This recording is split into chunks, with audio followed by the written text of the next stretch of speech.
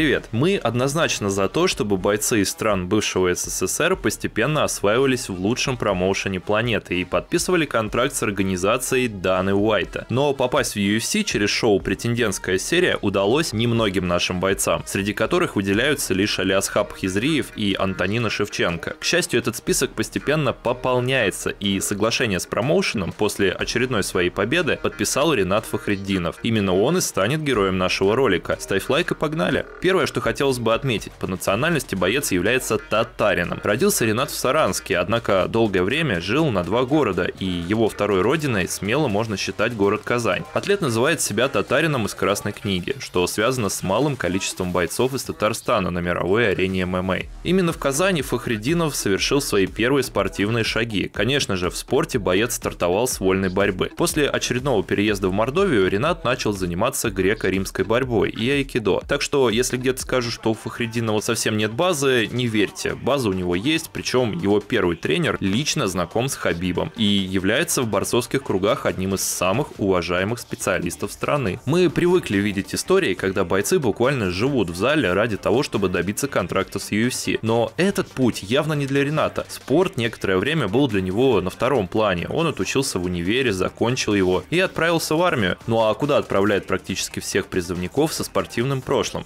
Правильно, в ВДВ. Службу Ренат вспоминает с улыбкой и точно не жалеет о том, что пошел служить. Вернувшись из армии, Ренат также не уделял должного внимания спорту. Прежде всего, как э, любой уважающий себя мужчина, он заботился о том, чтобы прокормить свою семью. А в секцию боевого самбо боец отправился исключительно для того, чтобы развеять серые будни. Изначально его не устроила цена занятий, из-за чего профессиональная карьера атлета вовсе могла не состояться. Только представьте, что сумма в 2700 рублей могла сломать карьеру бойца UFC. Однако потом Ренат смог попасть в секцию бесплатно, и с этого мы можем начать рассказ о профессиональном пути в смешанных единоборствах. Поп ММА в России постепенно становится популярнее ивентов крупнейших отечественных промоушенов. Мало кто знает, что в 2012 году в России существовала организация Show, в которой проводились командные бои. Одним из главных действующих лиц был герой нашего ролика. Свои первые полупрофессиональные шаги Татарин делал именно в хипе. Дальше было больше. При переходе в профессиональный спорт Фахреддинов четко продумал свой образ. Боец решил выходить на поединки с гладиаторским шлемом и взял себе подобающий образу ник, с которым идет до сих пор. И, честно сказать, подобная работа от бойца-профессионала восхищает. Его выходы смотрятся весьма эпично. Как жаль, что подобного в UFC мы не увидим, так как такие перформансы находятся под запретом. Ну, не считая танцев Адесани, конечно. Несмотря на постепенное развитие профессиональной карьеры, про поп ММА боец не забыл. Как-то в одном из интервью Ренат говорил, что планирует провести 1-2 боя, дабы немного повысить свою известность. Поэтому состоялась его схватка с Марифом Пираевым по правилам вольной борьбы, где атлеты устроили одно из самых интересных событий на борцовской арене. Бойцы провели интенсивный поединок, который завершился победой Пираева, но никакого негативного бэкграунда после поражения не было. Атлеты являются одноклубниками и хорошими друзьями. Буст популярности позволил позволил Фахрединову стрельнуть на профессиональной арене. На бои его приглашали все чаще, уступил он лишь однажды, Айгун Ахмедов оказался сильнее татарина единогласным решением судей.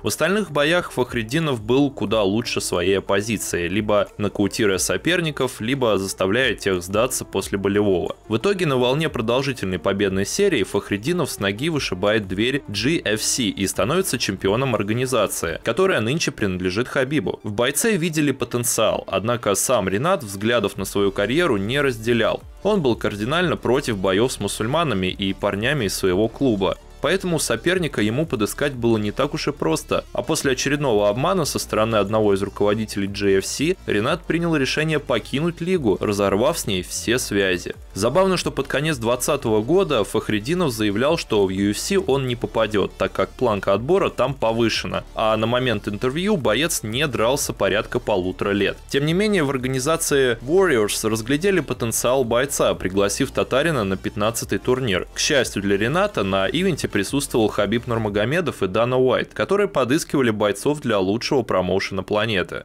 Против Татарина вышел биться Эрик Спайсли, бывший боец UFC, который вылетел из организации из-за явных проблем с весогонкой. Страсть к еде подвела его и в этот раз. Боец провалил весогонку на 4,5 килограмма, но Ренат упускать шанс не хотел. Выйдя на битву с номинальным средневесом, Фахреддинов ярчайшим образом потушил свет ветерану, чем впечатлил Дану Уайта, который сразу понял, что бойцу подобного калибра необходимо предоставить шанс. Добрый и улыбчивый парень, универсал, правоверный мусульманин и хороший человек. Такие в UFC точно нужны. Будем надеяться, что у нокаутера с шикарной базой боевого самбо все еще впереди. И взвалившаяся на его плечи популярность только подстегнет Татарина к новым свершениям. Подпишись на наш канал, ставь комментарий и поставь лайк. Скоро увидимся.